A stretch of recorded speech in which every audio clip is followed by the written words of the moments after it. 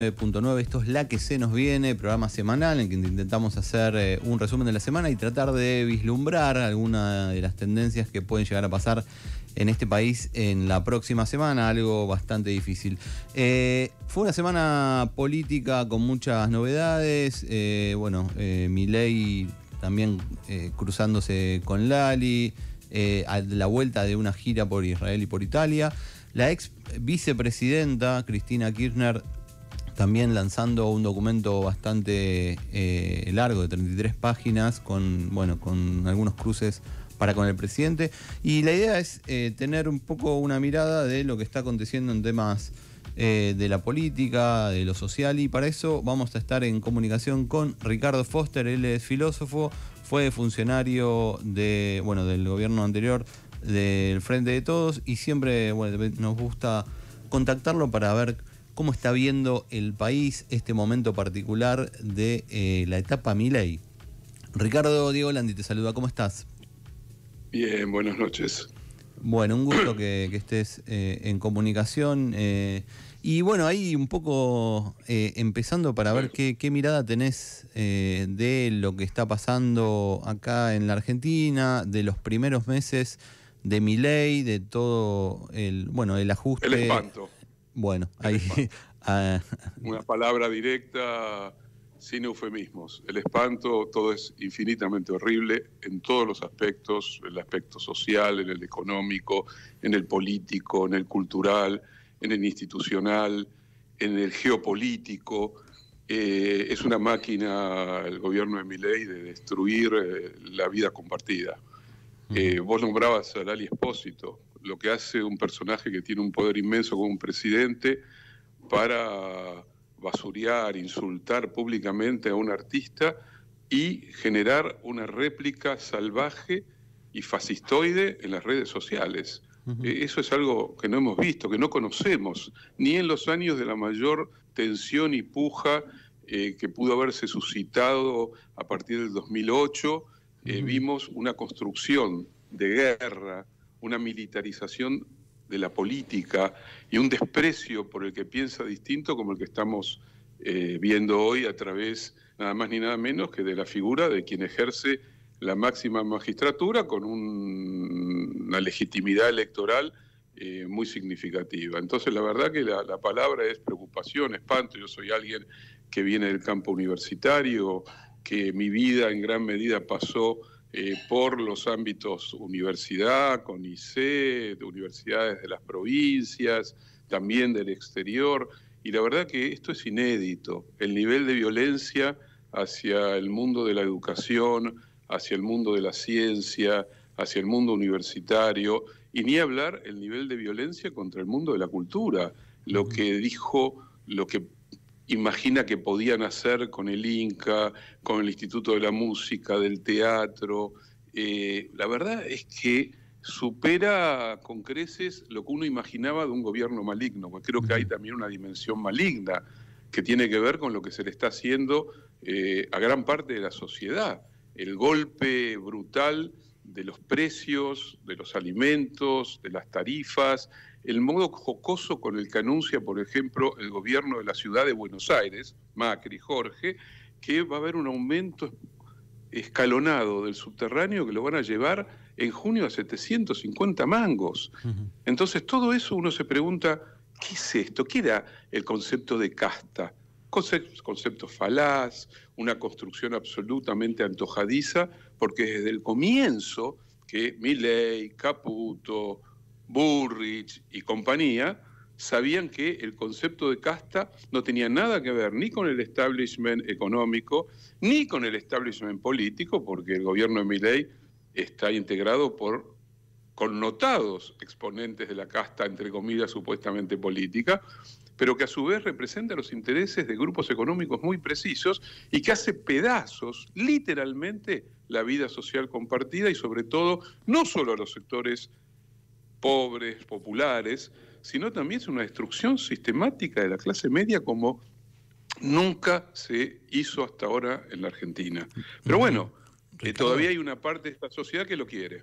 Eso, eso te quería preguntar. Eh, poniéndose en abogado del diablo, nunca mejor dicho, es ¿por qué pensás que este perfil ultra confrontativo eh, cada vez lo redobla más y, por qué una parte de la sociedad lo avala y, de alguna forma lo reivindica? Mira, vivimos una época muy complicada, no solamente en la Argentina. ¿eh? Eh, miremos qué está pasando en sociedades europeas, el crecimiento de las extremas derechas en países como Italia, como Alemania, en algunos países escandinavos, en Hungría, en España. Miremos lo que significa la política brutal del gobierno de Netanyahu, que es un gobierno de extrema derecha que está llevando adelante una masacre contra no el terrorismo de Hamas, contra el pueblo palestino. Entonces, quiero decir, a la sociedad le están pasando muchas cosas. Vivimos una época de fragmentación, de un profundo resentimiento en el interior también de la vida social, hay algo que está funcionando pésimamente mal, hay también una liberación vía las redes sociales de una suerte de lenguaje fascistoide, eh, negador del otro, cargado de una violencia, porque esto es lo que llama la atención también, el nivel de violencia con la que rápidamente se replican los discursos hiperviolentos del presidente de la Nación, que viene de un viaje de haber estado en Roma con el Papa, que para sorpresa de todos fue una reunión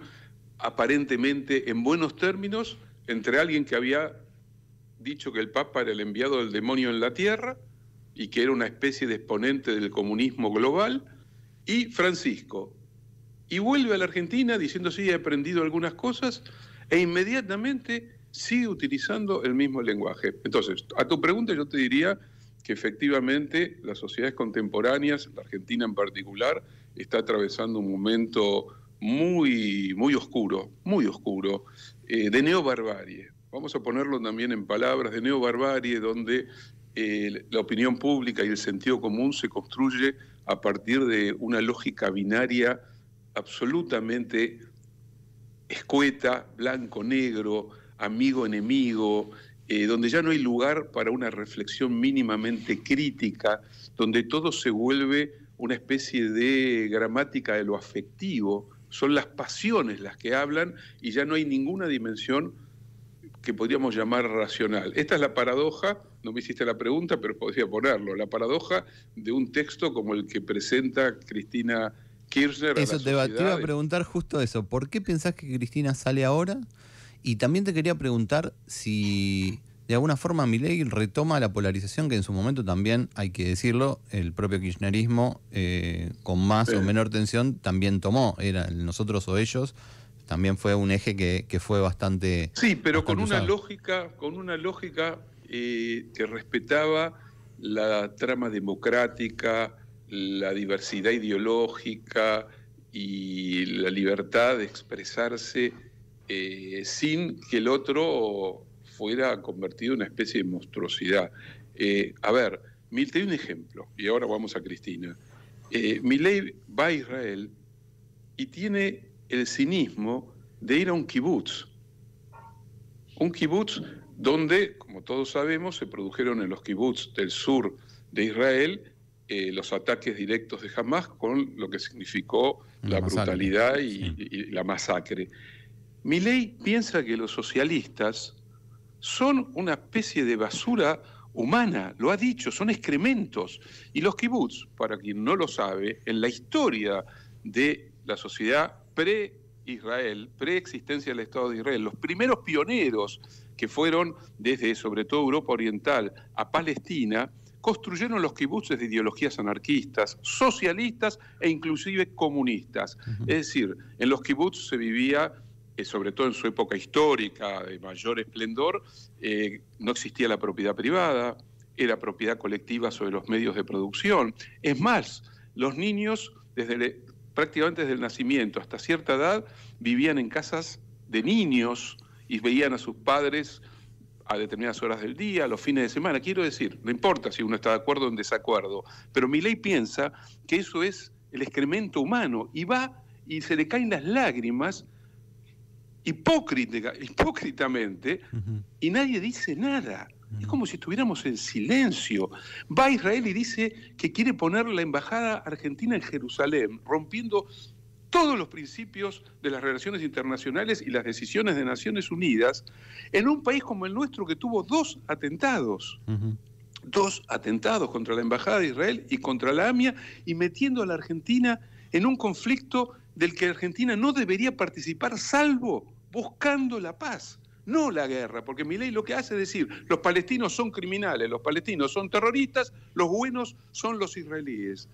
Eso, es eso lo, hace Estados Unidos, no necesita que vaya el coro de pigmeos a gritar lo mismo que puede hacer Estados Unidos. Entonces me parece que lo que hizo Cristina es colocar algo raro, que es un documento de 33 páginas, si no me equivoco, complejo, reflexivo, donde establece la, distinción entre dos modelos de país. Todo documento, y me parece que eso es lo interesante, es discutible, uno puede estar más, menos de acuerdo, pero plantea, respeta la inteligencia del lector, le exige al lector una cierta capacidad reflexiva. Y ahí me parece que Cristina se vuelve anacrónica, paradójicamente, porque le está dando a la sociedad algo que hoy la inmensa mayoría de la sociedad ya no consume, que es dedicarle tiempo a leer un texto que requiere una reflexión crítica profunda y, un análisis profundo.